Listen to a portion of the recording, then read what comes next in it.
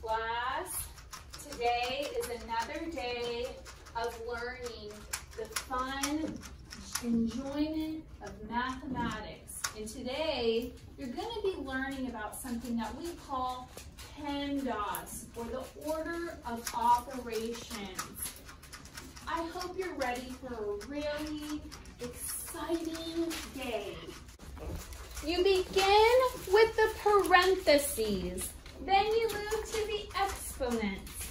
Then multiplication, division, and finally addition and subtraction. That is the order of operations.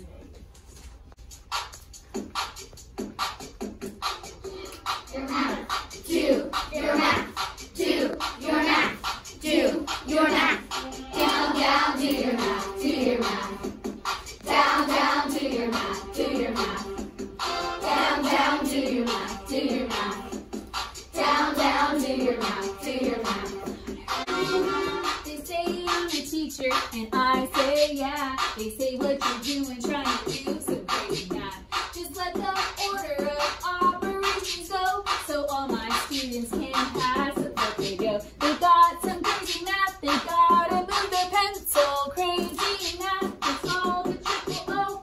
It don't matter if you're nine or if you're ten, we're gonna show you how it goes.